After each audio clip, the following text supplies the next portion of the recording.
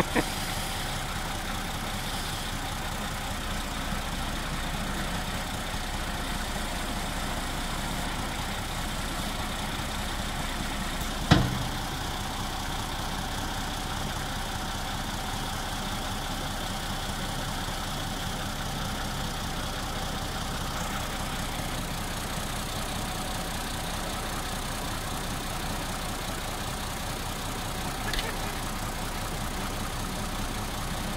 Nyt voidaan vaihtaa öljyt siihen.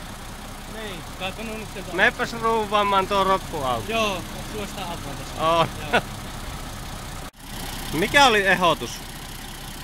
Niin, jos painat nyt tuosta puskurista yläpuolelta. Niin, että sitten saisi takarenkkaat Niin, irti. Niin takarenkkaat pitäisi saada nyt irti jolla opilla. Joo. Kokeillaan.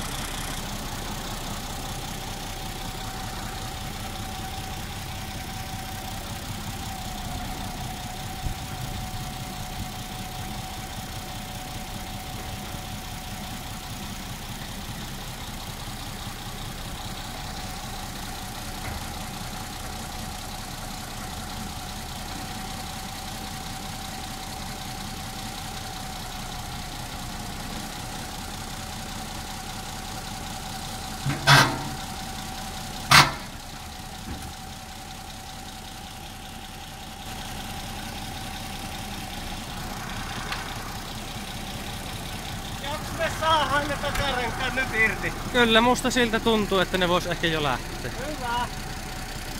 Eihän Eihän ruuvamma. No niin.